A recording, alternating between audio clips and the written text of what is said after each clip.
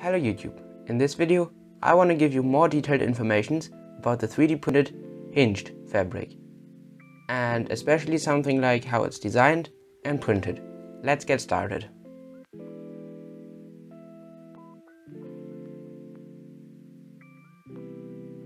Let's start with the designing part.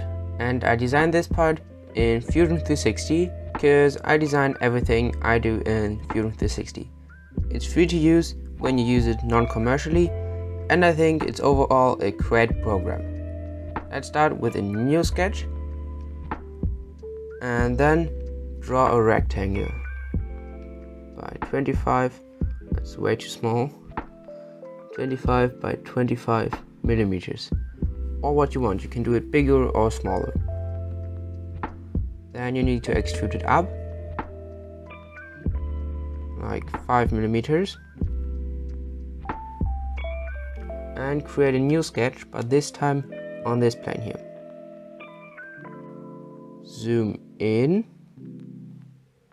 and draw a circle by 5 millimeters and another one with 2.5 or 3 2.5 yeah take 2.5 millimeters. Do that also on the other side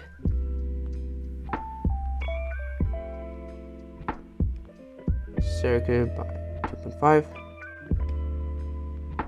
and another one. 2.5 here.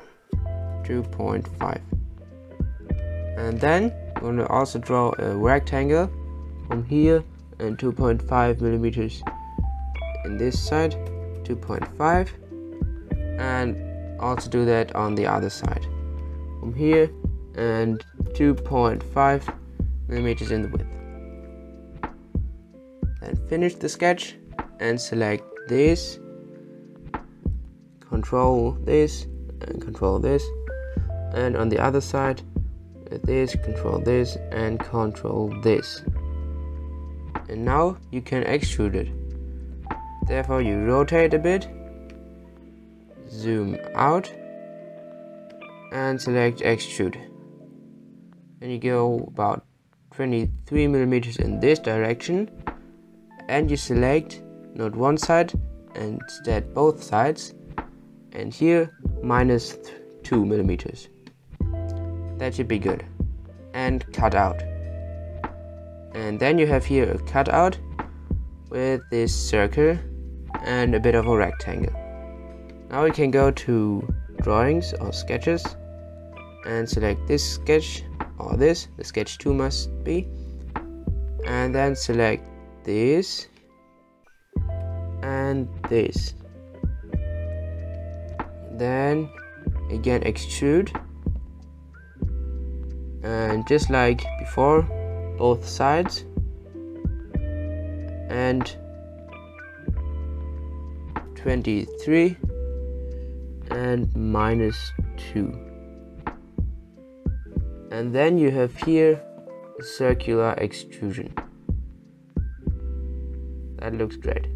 And now you can make it invisible again. And now we want to make a new sketch. This time the negative of what we did now. The sketch should be here. New sketch. Now we build the negative. Remember we had here a circle with 5 millimeters and here one with um, 2.5 millimeters. So here we now basically do the negative of it but with a bit of tolerance. So here we can make a circle but only like 4.5 millimeters and another one with 3 millimeters. Good. And on the other side the same Oh, that doesn't work. Um, can't select that point. That's because I have a circle on the other side. Then I will need to take line from here to the middle, 3 millimeters. And 3 millimeters isn't the middle, 2.5 it. And then I can select this point have here 4.5 millimeters again 4.5 and 3 perfect. And we're gonna extrude it again. Here extrude that and that. Extrude. And here we don't take 23 and minus 2 because then we would have no tolerance but 22 and minus 3 in both sides and minus 3 but not cut out instead combined. That's great. Okay. And now we are almost done but we need to extrude this plane and this one here by minus one millimeter and that doesn't work because it's not the same plane. Minus one. Or is that a bit too much? I think that's okay. And on the other side here minus 1 and in theory that's all. You can duplicate and rotate that but you also can make it a bit more round and beautiful. But I will go to uh, bodies and select this one right click on it and go to copy. Then go to select this anywhere you want right click and then paste. Now you have it right here. And you need to move it 25 millimeters. That's all.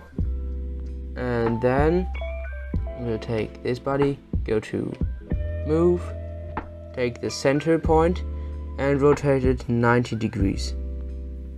And that should be it. As you can see here they don't go into each other and they still have a bit of space in between them. Here.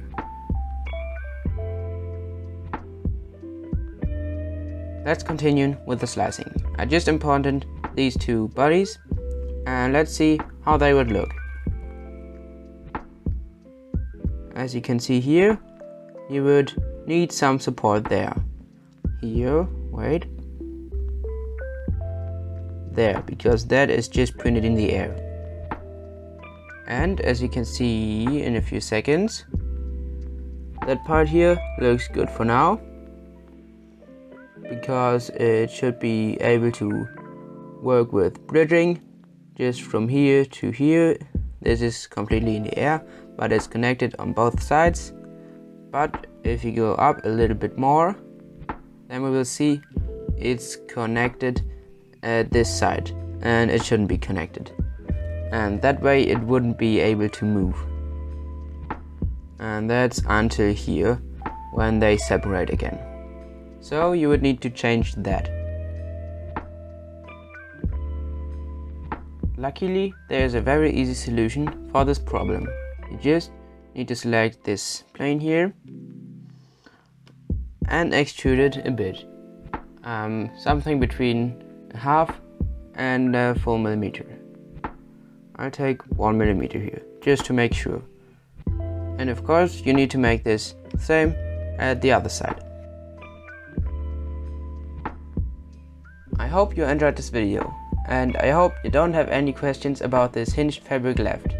If you have, or questions about anything else, please note them in the comments. I hope I can answer them.